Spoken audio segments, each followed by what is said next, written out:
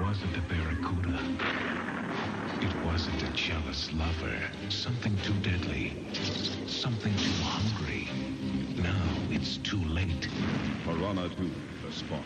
First time on TV. Tomorrow at 8 on TV 40.